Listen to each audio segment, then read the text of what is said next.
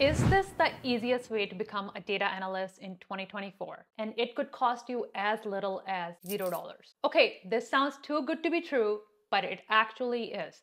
And in this video, I'm going to be covering exactly what, and how. Think about this. Before 17th century, people used to travel by foot. And then the invention of railway came along. This sped up the travel time from several days to a few hours. Similarly, data science job family was introduced in 2008 when Stanford University coined the term data scientist. It took many years for the education system to catch up. Despite the progress, learning data analytics wasn't as straightforward. Then in 2021, Google launched the Data Analytics Certificate, which took the industry by storm. The course wasn't revolutionary, but what made it stand out from all the other options available in the market is three things. One, it had Google's name on it.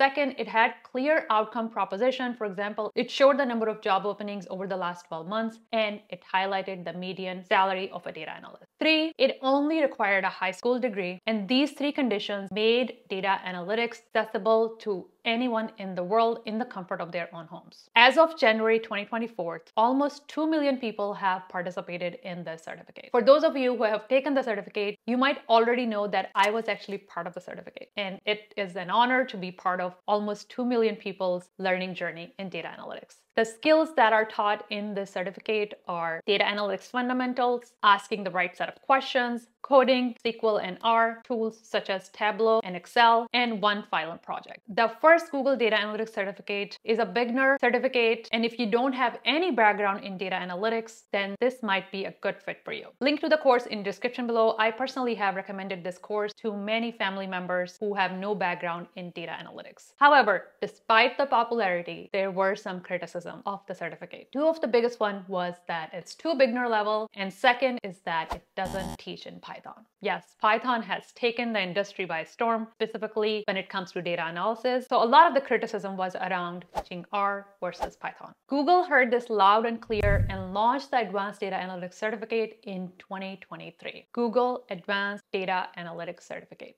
This version goes in depth. It covers Python, it covers statistics and machine learning and more. There are about seven courses in this certificate. Prerequisite is that you take the Google Data Analytics 1. There are over 177 hours of learning material covering statistics, Python, machine learning. Similar to the initial certificate, it has clear outcome proposition of what you can achieve after finishing this certificate. It includes the salary range, the number of job openings, and what are the job titles that you could consider after taking this certificate. I'm linking the course in the description below to learn more. So the question question is, is this the easiest way to become a data analyst in 2024? The answer is yes and no. Yes, because it's accessible, it's affordable, and anyone and everyone in this world with a computer can enroll in the certificate in the comfort of their own homes and graduate with a certificate that has Google's name on it. And no, because it is a commitment and it's a lot of material to learn. I personally have seen many people who quit midway. So in order to complete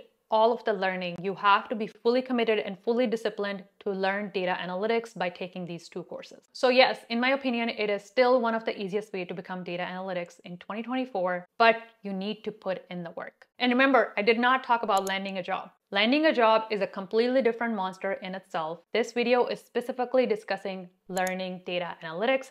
Learning data analytics and landing a job as a data analyst are two different skill sets. If you want me to talk about how to land a job as a data analyst, let me know in the comments. I can cover that in one of my videos. And if you want to learn data analytics and are planning to enroll in one or both of these options, then look into Coursera Plus subscription, which is typically $59 a month. So it comes out to $7.99 a year. But they currently have an ongoing sale on the annual membership, which gets you $200 off. So you pay 199 for a full year of a Coursera Plus subscription, which gives you access to both of these certificates plus many more. And let's say if money is the issue, then I highly suggest that you look into Coursera's financial aid option.